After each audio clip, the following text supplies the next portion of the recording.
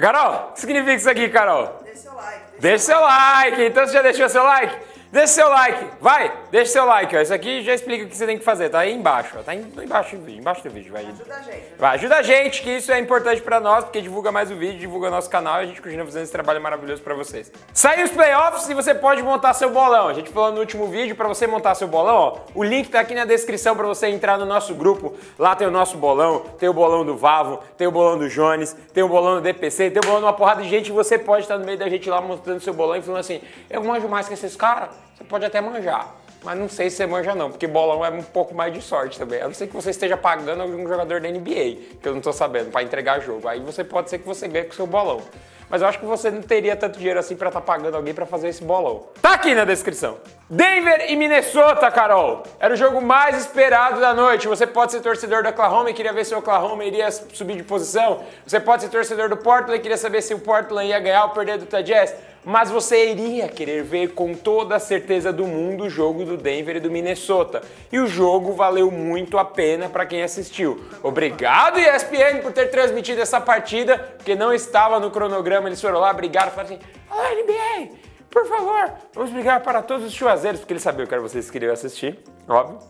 Vamos brigar para todos os chuazeiros é, assistirem o jogo do Denver do Minnesota, porque o Bruno vem falando há muito tempo no rodada, a gente que é da ESPN acompanha eles há muito tempo. Inclusive, vocês poderiam se inscrever também no youtube.com.br canal Chua. Hoje eu tô enrolando pra caralho, hein? Resumindo, o jogo foi muito bom do início ao fim. Minnesota chegou a abrir uma diferença de 10 pontos ali no final do, do primeiro tempo. Mas não teve jeito. Faltando dois minutos pro fim, o jogo tava empatado. Nicolai Jokic jogando muito, Jimmy Butler, Jimmy Butler tava jogando bem pra caramba, Carl Anthony tava, tava jogando pra caramba. No finalzinho, mas no finalzinho, na última bola, Nicolai Jokic teve a chance de colocar o Denver nos playoffs, mas Ted Gibson não deixou. Calma, garoto, estou aqui, estou aqui, vocês não vão pros playoffs. O jogo foi a prorrogação, não teve jeito, deu Minnesota, Minnesota que não ia para os playoffs, sabe desde quando, Carol? Desde 2004. Em 2004, quando eles foram para os playoffs, sabe quem jogava no time era um menininho? Kevin Garnett, foi MVP da temporada. Parabéns, Minnesota! Pelo eu eu gosto dos dois, eu falei no último que eu tava tinha um, um lance com o Denver, mas o Minnesota é mais da hora pelo elenco. Jimmy Butler, Carl Anthony Towns, Andrew Wiggins, é um time muito bom. Vai dar trabalho para Houston, assim, todo mundo achando que ah, Houston vai dar um trator, Houston vai passar o trator. Vai sim, vai dar trabalho. Tô, a Carol tá aqui, ó, eu vou falar aqui a real para vocês. A Carol tá discordando, tá achando que Houston vai passar o trator, mas eu estou discordando. Houston vai passar de Minnesota, mas não vai ser o trator. Vai passar aqui, ó. Vai ter uns buracos no meio do caminho, vai voltar um pouquinho, vai ter que andar. Eu chuto que essa série vai ser. Trator, não, vai ser rolo compressor. Hum. Torcedores do Houston agora amam Carol, torcedores do Minnesota acabam de odiar você, Carol. Quem que fez? Quem que fez o negócio do bolão do chua? Carol, que time que tá lá? Ah, você que fez? Eu pedi pra eu fazer, a Carol já fez. Não, não. É que você tem que escolher o seu time. Ah, tá. Quando você se inscreve. Ah, entendi. Você colocou o quê? Houston? Houston. Nossa, um. Porque eu fiz uma média de todo mundo. Vamos para recordes então, Carol. Acabou a temporada com dois recordes sensacionais. O primeiro foi o recorde do Westbrook. Russell Westbrook fez seu segundo triplo-duplo de média na sua carreira na temporada regular. Temporada regular ele fez uma média de triplo-duplo. Essa temporada regular ele também fez uma média de triplo-duplo. Sabe quantas pessoas tinham feito isso na história da NBA, Carol? Ah. Nenhuma. Olha só. Palmas para o Westbrook. Carol, Carol, lá tem um problema com o Westbrook. Eu não sei qual é que é. Eu acho que é porque o Harden não foi MVP da temporada passada. Eu acho que esse é o problema. É esse o problema. É esse o problema. Ele Ah, agora faz sentido, chuazeiros. A Carol não é muito assim. Ela segue, mas ela não curte as fotos do Westbrook. Por causa do Kevin Durant. Ele tinha que fazer 16 rebotes neste jogo. Sabe quantos ele fez? 20. Eu acho que você sabe, né, como é que foi a, a, o comando no início do jogo, né? Gente, então, rebote. Sabe a da temporada passada? Vamos voltar. Sabe rebote? Se vocês sabem o que funciona, hoje vocês não tem que saber o que é, tá? Então ele entrou pra. Com certeza o cara. O pessoal tem muita gente que fala, ah, não, ele, os caras não entram. Ele mesmo pode falar que não. Eu não vi o depoimento dele. Ele pode falar, ah, não, lógico que entra. O cara tem a chance de fazer história, deixar o nome dele marcado como uma coisa única. Ele não vai entrar com esse objetivo? Entrou, com certeza. Ele ainda fez 19 assistências no jogo e 6 pontos fez 19 assistências. Ele terminou essa temporada com uma média de 25,4 pontos, 10,1 rebotes e 10,3 assistências. A temporada passada ele estava melhor. Foi Foi 31,6 pontos, 10,7 rebotes e 10,4 assistências. Temporada passada ele estava melhor porque ele não fez nada mais, nada menos que 42 triplos duplos. Então ele bateu o recorde de triplo duplo na temporada regular. O cara é demais, o cara é um fenômeno, joga muito. Parabéns, Westbrook! Tá, tá, tá, vamos, vamos. LeBron James, bateu outro recorde, Carol. Jogou as 82 partidas da temporada regular. Sabe quantos jogos o Cleveland tem na temporada regular? 82. Sabe quantos o LeBron jogou?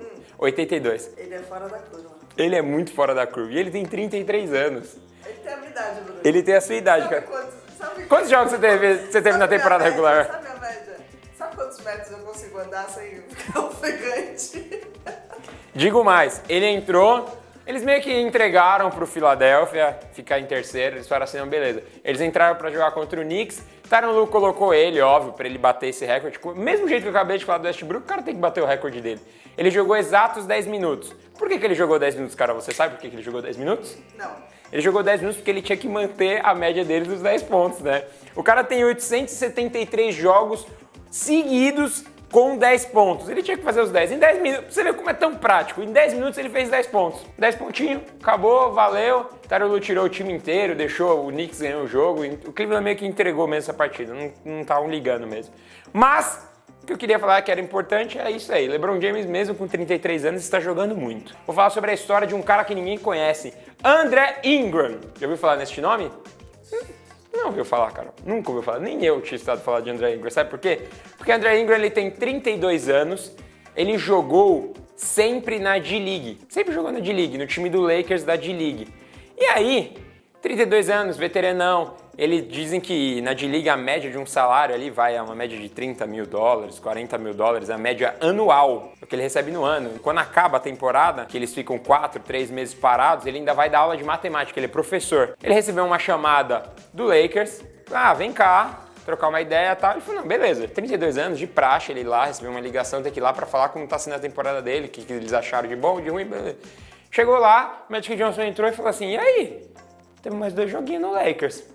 Quer jogar essa temporada? O maluco jogou as duas partidas do Lakers. Ele é um rookie de 32 anos. Da hora. Muito louco, não é?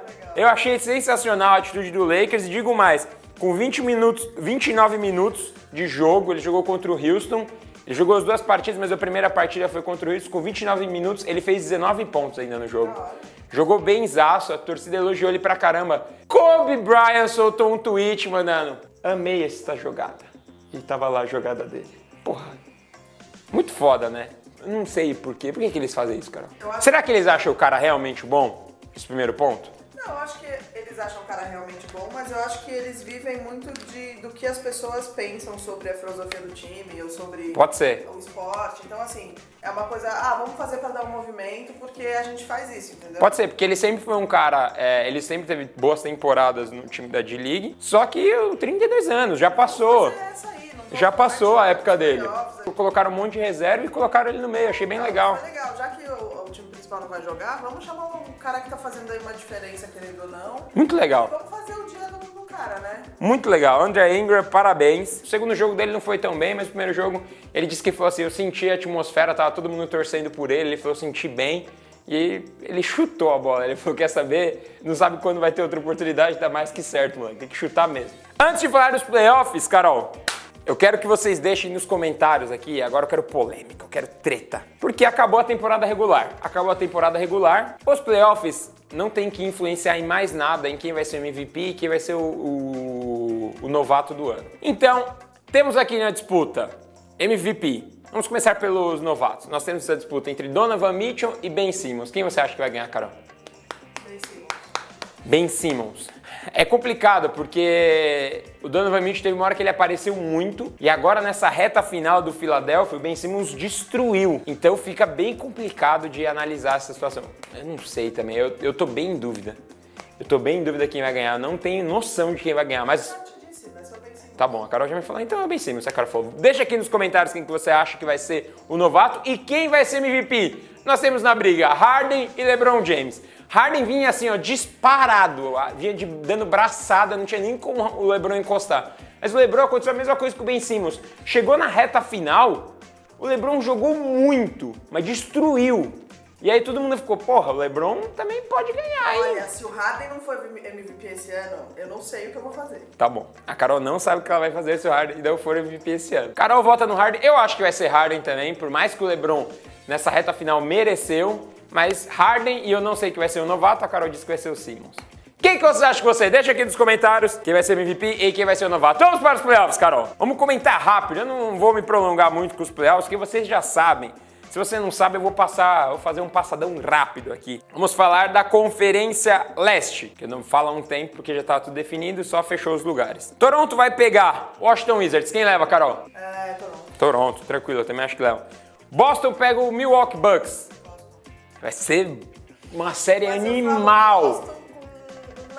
Vai ser uma série animal. Eu tô muito em dúvida, mas eu acho que passa o Boston. Filadélfia e Miami.